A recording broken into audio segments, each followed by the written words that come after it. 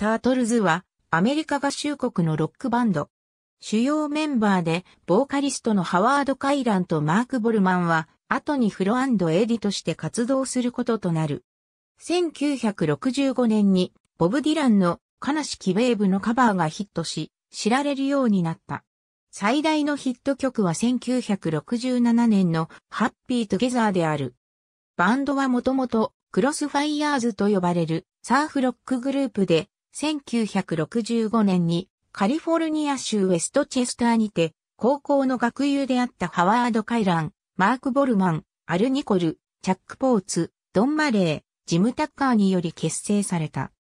クラ、KFWB の DJ やクラブオーナーのレブ・フォスターの助けで、クロスファイヤーズはホワイトホエールレコードと契約することに成功し、当時流行していた音楽性に追従するため、彼らはタートルズとバンド名を変え、フォークロックグループとして売り出した。本来のタートルという綴りを変えているのは、バーズやビートルズに影響を受けたものであるが、この名称は長続きしなかった。バーズと同じく、タートルズもボブ・ディランのカバーによって成功する。悲しきベイブは、ビルボードチャートで1965年夏の終わり20位を記録し、ファーストアルバムの表題曲となった。セカンドシングルの Let Me Be も30位となり、1966年初旬にリリースされた3番目のヒット曲 You Baby は20位に届いた。セカンドアルバム You Baby はチャート入りせず商業的に失敗作となったが、このアルバムから1966年にリリースされたシングルグリムリーパーオブラブや Can I Get to Know You Better はチャートインを果たした。ウォーレン・ジボンによるアウトサイドチャンスでは、ビートルズのタックスマンのようなギターが加えられたが、チャート入りはしなかった。1966年、タートルズはユニバーサルピクチャーズのビーチパーティー映画アウトオブサイトでシールカムバックを歌った。1966年の初めにドラマーのドン・マレーとベーシストのチャック・ポーツがグループを脱退。ドラムはジョエル・ラーソンとジョン・バーバータ。ベースはチップ・ダグラスに交代した。1967年、リズムギターのジム・タッカーがバンドを離脱し、伝えられるところによれば、イングランドでプロモーションツアーをした際に、ジョン・レノンによって公式に侮辱されたという。ビートルズファンのタッカーは、この体験を忘れられず、グループや音楽ビジネスをやめた。ゲイリー・ボナーやアラン・ゴードンと共作した最初の代表作、ハッピートゥゲザーは自身のほぼパロディ作で、すでに多くのパフォーマーによって拒絶されていた。ハッピートゥゲザーは彼らの最大のヒットで代表曲となり、タートルズやアレンジを提供していたチップ・ダグラスにとって転機となった。このシングルはビートルズのペニー・レインを1967年春の全米チャート1位の座から奪った。これはタートルズ唯一の1位ヒットであり、3週間トップにとどまり続けた。同名のアルバムも続けてリリースされ、最高位は25位。また、ハッピートゥゲザーはイギリスで12位に達した。同年、タートルズは20世紀フォックスの bedroom farce、プレイラブ48章では、表題曲を歌った。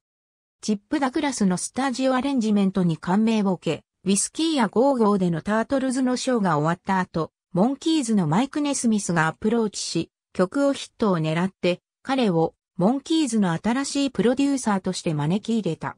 ダグラスはこれを承諾し、タートルズを脱退した。1967年は音楽チャートにおいてタートルズが最も成功した年と言える。シードラザービー・ウィズ・ミーは春の終わりに全米3位となり、海外ではチャート入りしていなかったハッピートゥゲザーがイギリスで4位となった。また、You Know What I Mean と She's My Girl もトップ15入りした。レコードの45回転版の登場は、バンドスタイルを変更させるきっかけとなった。ゴールデンヒッツは、この年の終わりにリリースされ、トップ10入りを果たした。アルバムカバーの似たザ・タートルズ。ゴールデンヒッツや続く、モアゴールデンヒッツは、ジャンディーンがデザインした。1968年の最初の2つのシングル、サウンドアスリープとザ・ストーリー・オブ・ロックンロールは、トップ100の注意にとどまった。チップ・ダグラスがスタジオワークに復帰した際、バンドの運命が変わった。1968年の終わりに、バンドはコンセプトアルバム、ザ・タートルズ・プレゼント・ザ・バトル・オブ・ザ・バンズをリリースし、11のバンドを装って、それぞれ異なったジャンルの曲を歌った。アルバムからは、シングル、エレノアと、優勝ドミーがリリースされ、エレノアは、イギリスでも7位となった。1969年のヒット、優勝ドミーは、バーズのジーン・クラークとロジャー・マッキンによって1964年に作られた。1968年2月26日にマイク・ダグラスショーというテレビ番組に出演し、1969年4月に2回目の出演をした。1969年が終わる頃、グループはキンクスのレイ・デイビスによってプロデュースされた次のアルバム、Turtle Soup をリリースした。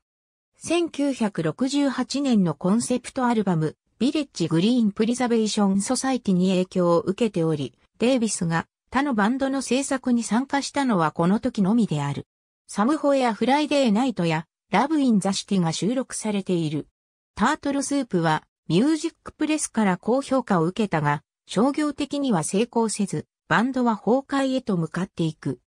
この時までにレコードレーベルとの関係に長きにわたって幻滅を感じており、経済的な問題もあり、カイラント・ボルマンはタートルズを量産的なポップバンドに近づけようとするホワイトホエールの働きかけに対抗した。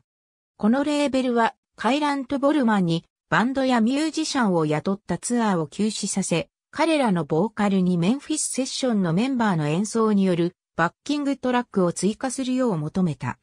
このような圧力を受け、バンドはシングル、 Who'd Ever Think That I Would Ever Marry Margaret を収録した。タートルズは1970年に2枚目のコンピレーションアルバム、 More Golden Hits と B 面曲を集めた Wooden Head をリリースし、その活動を終えた。タートルズの活動終了を受け、ホワイトホエールレコードからは商業的に見込みのあるバンドも離れたため、営業を終えた。ありがとうございます。